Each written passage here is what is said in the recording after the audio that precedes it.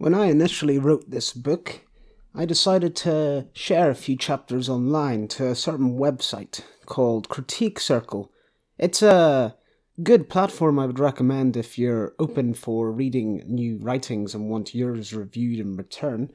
But essentially, by the time readers got to this point in the story, there was one general complaint that was summarized perfectly in the titles of one of the reviews that said, What the shit is going on? Not a bad question. This book does start off rather uh, head first into an unexplained and uh, lost setting in a way. But I've always preferred to be thrown head first into something rather than had my hand held throughout. While the story might seem confusing and uh, certainly a bit all over the place, a lot of this will be answered in the upcoming chapters. Whether you believe that I'm competent enough to pull that off or not, well, I'm trusting that you have more faith in the work of unknown strangers than I do myself. If you've made it this far, I'd say it's worth hanging around for a few more chapters to see if you like the plot that's beginning to form. Or to make fun of my dubious voice acting skills. Because these next chapters introduce one of the final major POV characters, and along with him, more voices and accents that I'll have to tackle. Expect that, and more, in the next few chapters of Apocalypse Awakening, an unconventional narration.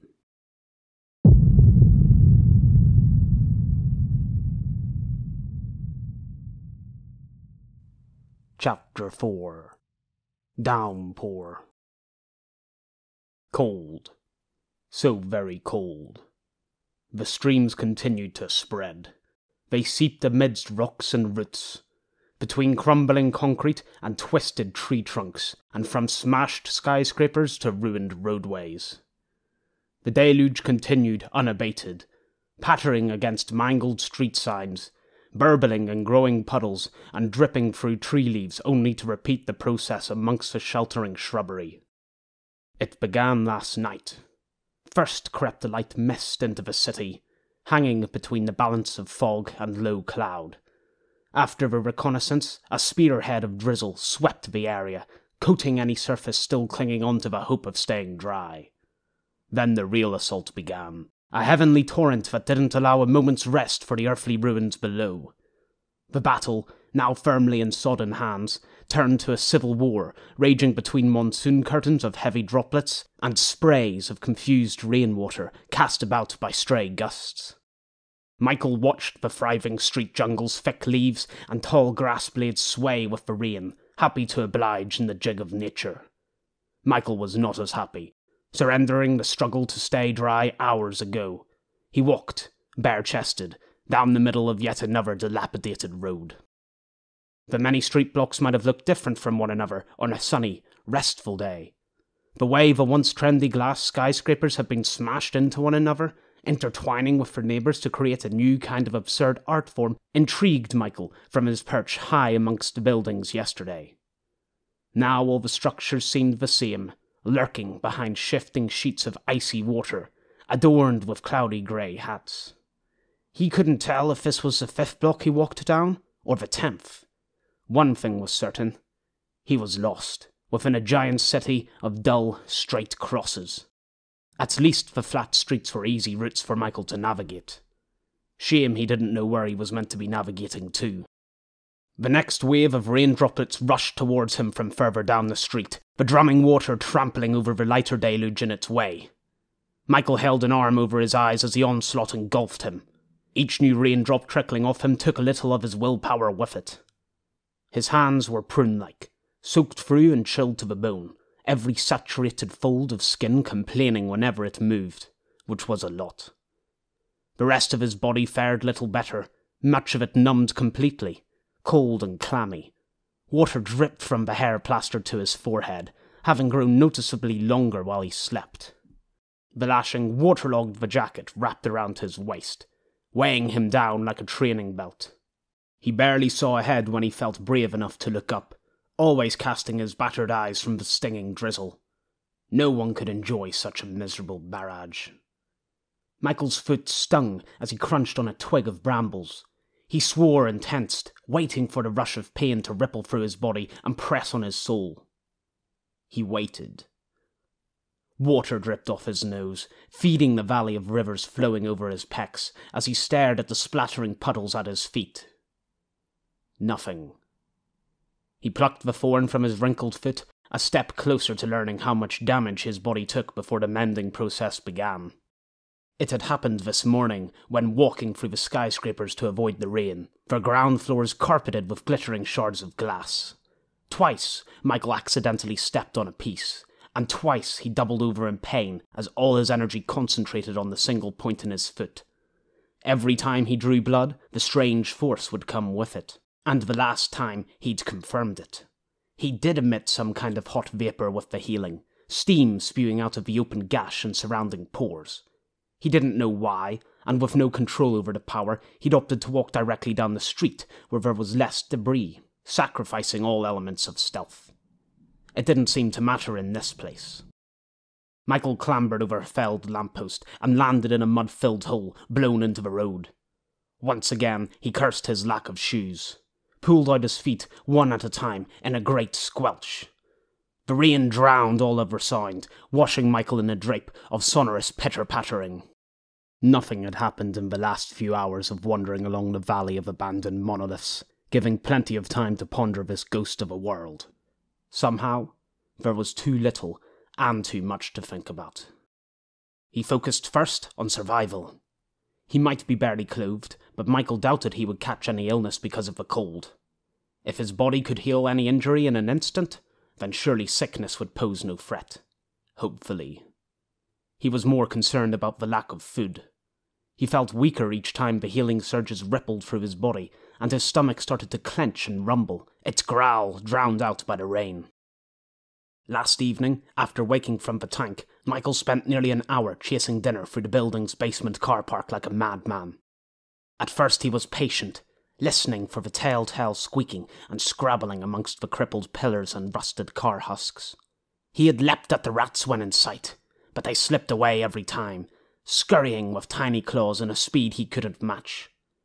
Eventually, Michael lost his temper and started flinging loose pieces of rubble at the little shits. They were small, fast, and he had left humiliated. Rats were another item on his growing list of dislikes with this city. Rats weren't the only animal around. Barks and howls ran amok in the distance. Dogs. He was less scared about being attacked by feral mongrels and more fearful of his own reaction if he did see some. Detestable to think. He might have to kill and eat a dog. They were strays left behind after the chaos, or, if they had owners, they'd yet to introduce themselves.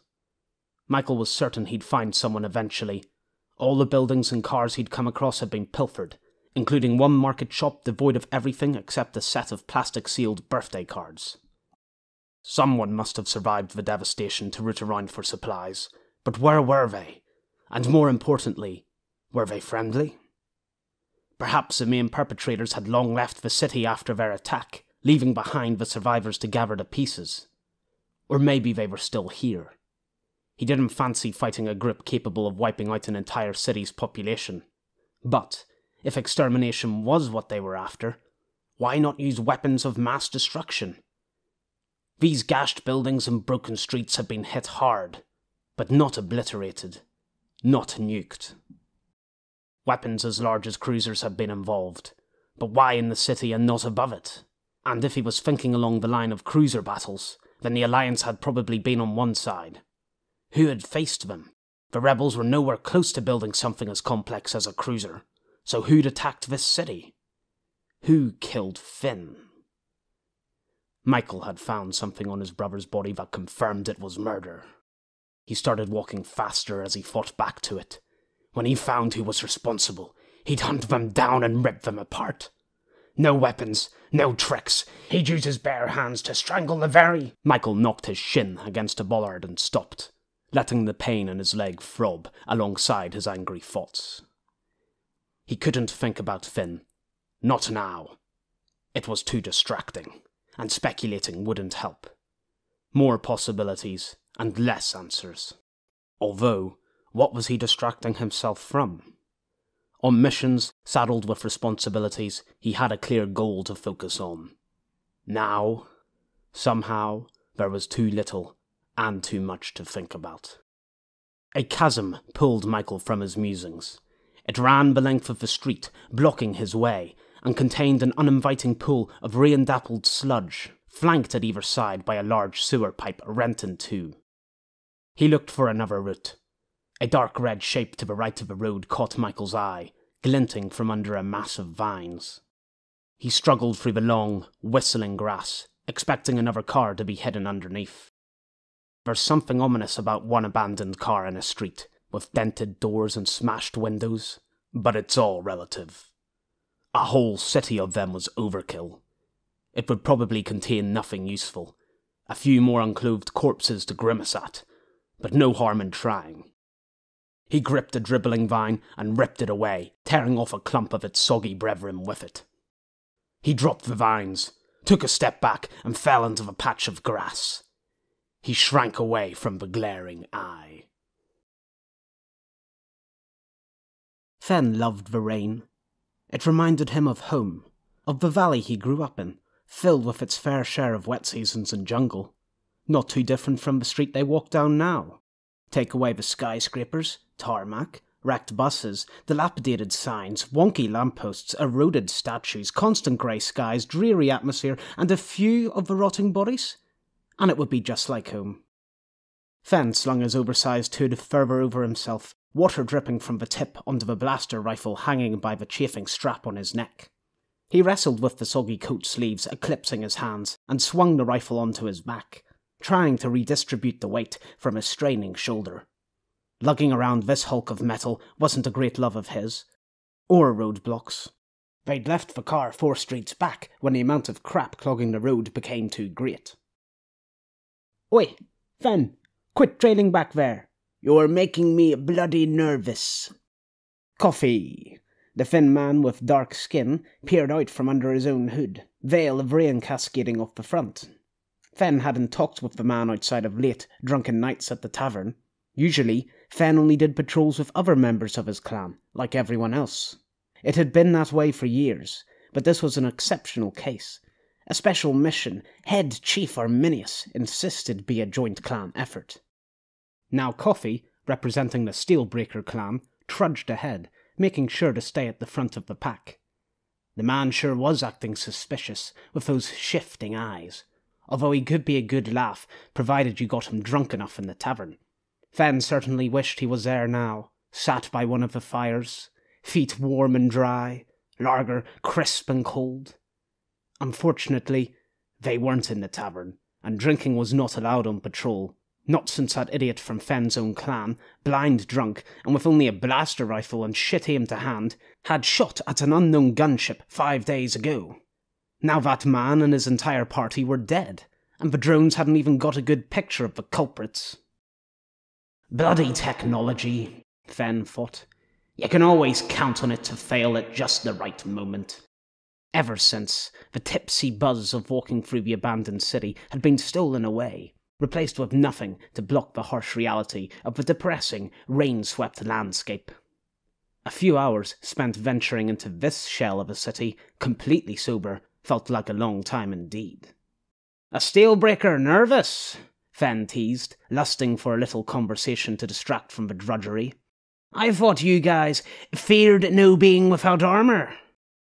He was mocking the Steelbreaker motto, which people took about as seriously as all the other clans. The Hollow Cloaks had started spouting some nonsense strapline about being there but not seen, and so, not to be outdone, every other freelancer clan clambered onto the idea. Oh no, I fear people who know how to fight, like any sensible man, Coffee said, his voice carrying a sly smile with it. So, no worries where you're concerned.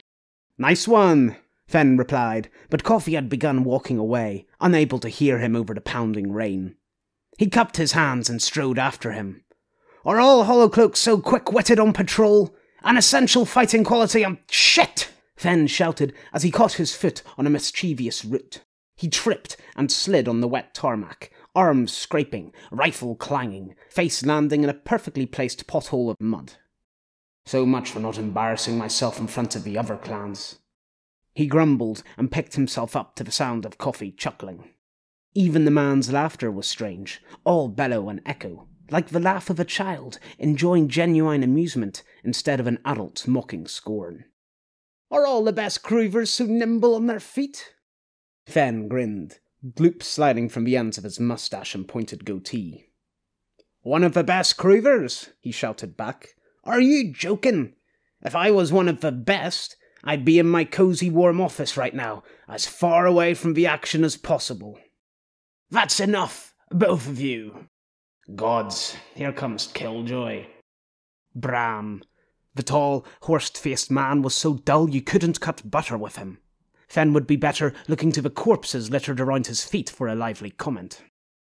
If you pair keep, we'll get no time. Bram was apparently talking, his voice whipped away by the windy downpour. Fen raised a hand to his ear. What? Bram shook his head and gestured for the pair to join him. Fen frowned. Bram seemed to be under the illusion he was in charge here, just because he was part of the Hollowcloaks. They thought they were the top dogs, ever since becoming the biggest freelancer clan last year. Far too cocky an outlook, considering the combined might of the other clans. Fen joined Coffee and Bram under the flimsy bus stand, its thin strip of plastic canopy a meagre shelter. Stop shouting, both of you, Bram said, sour little pout on his lips. What if we get spotted? Spotted? Coffee raised his arms to either side. Who by? There's just as many people wandering around here as usual. None whatsoever. Let's take a rest and cook some lunch, Fen said, nodding to Bram's backpack strapped underneath his raincoat to give him a hunchback look. Put the barbecue to good use. Grill some tasty meat. Eh? Eh? No, Bram said, curt as a dam. We have reports of that gunship being spotted twice in the last few days. Reports from overexcited youngsters with no evidence. We carry on until I say so. Now hold on a moment, Bram, Fen said, crossing his arms and leaning back against the plastic bus stand. We agreed to a joint expedition between the clans. No one assigned you as leader. Coffee nodded. Bram stared at Fen. Two close together eyes narrowed. Besides, Fen said, breaking out a smile despite the dank tension and weather to match. We're dealing with a gunship here. What a suicidal maniac would fly in this weather? A committed one. Oh, that was quick. Had he been saving that line? Perhaps. But risk a gunship today when tomorrow's weather awaits with clear skies? Fen shook his head. Trust me, they'll wait. Bram glanced at the grey roof of clouds. He pulled out an antique brass tube from his pocket and extended it, pressing it to his eye. The ludicrous telescope was barely longer than two lengths of Bram's hand, and completely useless in this weather. Anyone could see the storm wasn't stopping for hours. Come on, Bram, Fen said, interrupting the fruitless sightseeing session. Let's stop for lunch. At least until it dries a little. There's a spot over there. Fen pointed to a reception lobby, sliding doors bashed open. Left of a chasm running the width of a street that contained an unappealing pool of rain spattered muck and a wrecked sewer pipe.